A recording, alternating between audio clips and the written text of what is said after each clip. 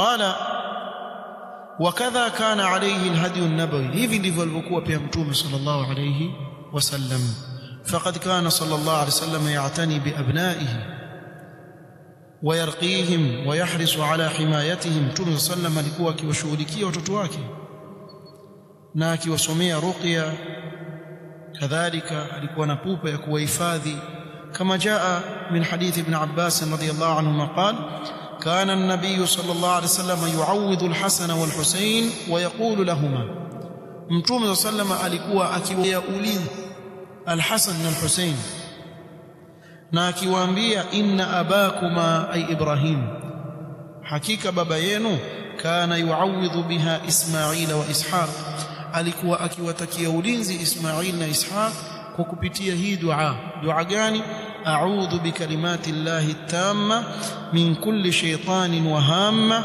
ومن كل min لامة amsomee yule mtoto. Kwa kila siku uwe wamsomee yule mtoto hii dua. Ili Allah subhanahu wa ta'ala amuhifadhi katika siku yake kama ile. A'udhu bikalimati llahi tamma. Maana najilinda na maneno ya Allah subhanahu wa ta'ala yaliyotimia.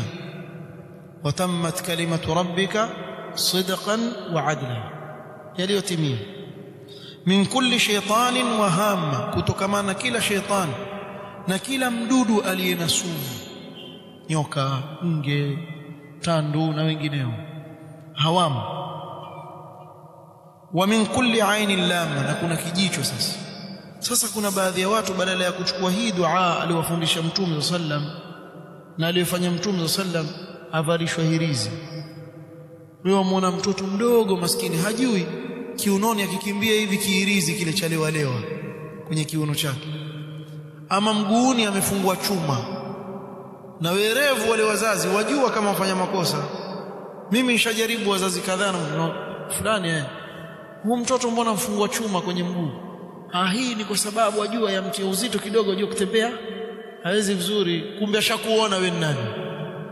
Wewe acha kutufanya sisi wajinga bwana. Hiyo chuma mwadanganywa na mwadanganyana kuwa jini aiogopa.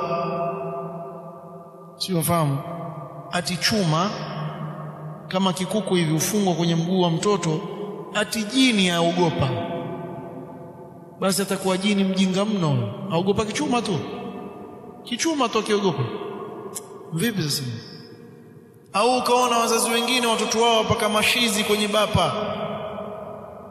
Kwa nini wampaka mashizi kwenye bapa? Apendeze mtu apendeze na mashizi. Anza wewe kujipaka mama. Tukuone. Mbona wajipaka poda? Mtoto wampaka mashizi bwana.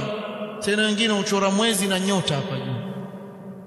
Hapa kwenye bapa sababu nini? Ati mtu akija kimwona simwone ni mzuri asije kampiga jicho. Hizi ni itikadi ziko za kishirikina shirikina hizi watu wengi wazifanya.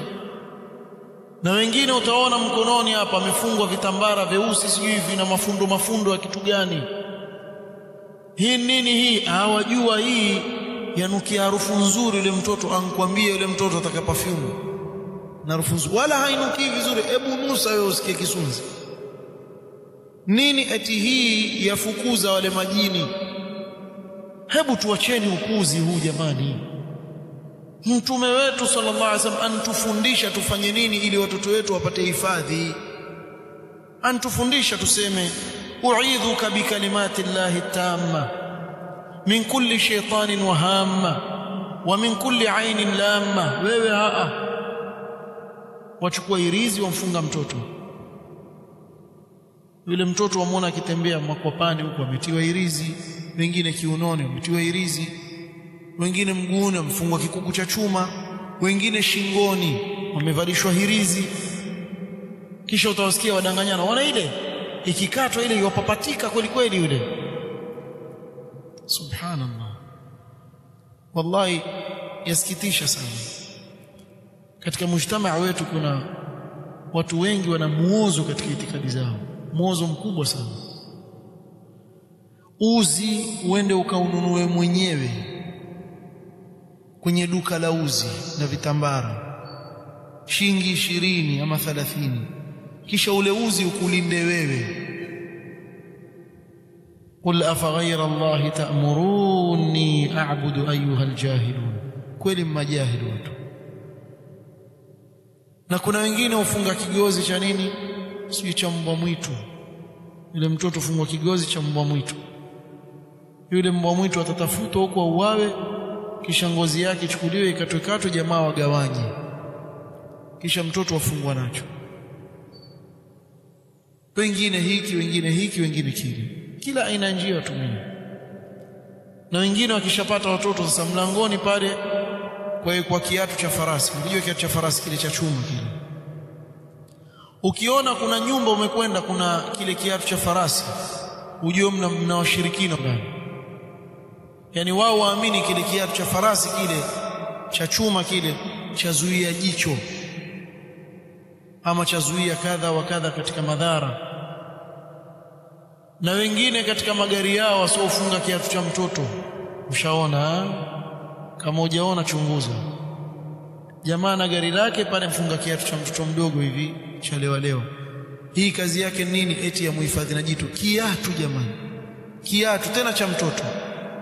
Cha muhifadhi yeye na jicho haitakidibu na wengine hana hata hilo gari mpikipiki tu kama kina sisi huko. Alafu bado iwafunga ati yahifadhi. wewe nani akushughulikia hata ukipita upige kelele kurukuru kama generator utafikiri jenereta alimpita. Shukuru na wewe angalau unaitwa kijipikipiki wapita huku pita huku. Pia wataka ushirikina ndani yake. Ha mwingine ampewa gari Allah anampa zawadi hiyo neema. Ana gari nyuma. Nyota bwana. Nyota yangu ya ng'ara una nyota wewe. Gari yenyewe umechukua kwa loni. Usema una nyota kule juu una nyota wewe.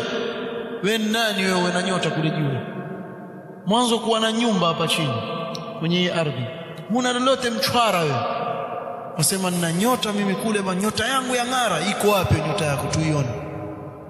Kula min ashirkiyat alkhuzahbalat na hizi zote zimelishwa na hizi madaris za kikhurafi ambazo itikadi zao hazina. Qala Allahu wala qala rasuluhu maudhika najua lakini ndio ukweli. Nyimezeeni tu mbadilike.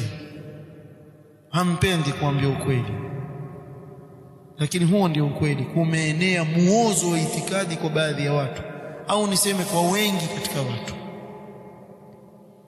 فعلى الآباء أن يعتنوا بذلك العناية ولا سيما فيما يتعلق بالرقية الشرعية فهما من أعظم الأسباب لحفظ الأبناء نجو يا وزازي كل شغلك يا سانا كل شغلك يا سانا جنبين حصل جنب رقية زنقوة ولا الشريعة waweza kuingia nyumbani ukamwona yule mtoto yualia bila sababu. Mtume sallallahu alaihi wasallam aliingia katika nyumba moja katika masahaba akakuta watoto akawaambia wasomeeni ruqya hawa watoto. Watoto ni sahali sana kuathirika na macho. Mama amewabeba ankwenda kwao sijui wapi ankwenda sijui wapi. Kuna watu kule kutana nao na watoto wapendeza kwa watu. Pengine yule aliyempiga jicho hasudia ni ainu akampata kwa jicho ile mtoto wamwona mtoto yualia hujui ana nini. Msomea ruqya utaona wewe tofauti. Msomea ruqya yule mtoto wamwona yuatulia. Mbali na hiyo pia hata akiwa na maradhi yoyote ruqya ni jambo muhimu sana kumsomea yule mtoto. Na ni sababu ya kumhifadhi. Si hirizi. Msidanganywe ba hata wa mashekhe wa kikhurafi wakiambia hirizi na nini? Haina kitu haina neno. Warongo watakupeleka mahali pabaya. Kumeandikwa sijui nyota nyota pale herufi herufi hazieleweki kisha kikafungwa kigozi ikashonwa ile karatasi. Kisha waambiwa uivae. Sasa hebu kwa akili timamu ya kuzaliwa. Na hapa nitamalizia wakati umesonga. Akili yako timamu ya kuzaliwa kile kikaratasi kimehitaji kigozi ili kihifadhike si umeelewa yani mpaka umeishonya kigozi ile karatasi ndio imebakia salama pale ndani. Ukiifungua kile kigozi ile karatasi ukaiweka kumvua mvua hivi itaweza kujihifadhi? Sasa itakuhifadhi wewe. Wewe binadamu jitu zima kikaratasi kitakuhifadhi wewe na chenyewe chahitaji kutiwa ndani ya kigozi ili kihifadhike. Afala taqilun? Basi hamna akili mkatumia nyinyi ha mambo yako kuna wengine ukiwaambia ha mambo yako wapi kwenu nini iko mkawacha kumtegemea Allah subhanahu wa ta'ala mkaingia katika njia hizi za kishirikina wallahu musta'an نكتفي بهذا القدر والله تعالى أعلم سبحانك اللهم وبحمدك أشهد أن لا إله إلا أنت أستغفرك وأتوب إليك بارك الله فيكم